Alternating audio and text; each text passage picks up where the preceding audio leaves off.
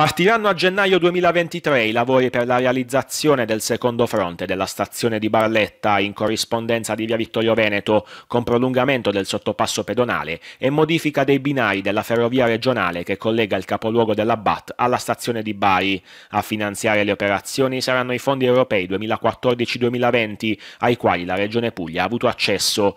200.000 euro sono già stati utilizzati da Ferrotramviaria, soggetto attuatore incaricato dalla Regione, per acquisire acquisire da Rete Ferroviaria Italiana le aree interessate dall'imminente cantierizzazione.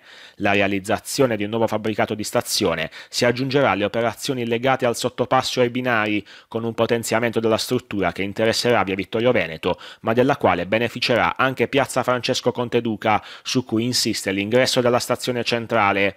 Oltre all'ammodernamento dello snodo ferroviario, i lavori permetteranno di ricongiungere in maniera più dinamica i due lati della città, quello del centro cittadino e il tratto che connette il quartiere Patalini alla zona Barberini.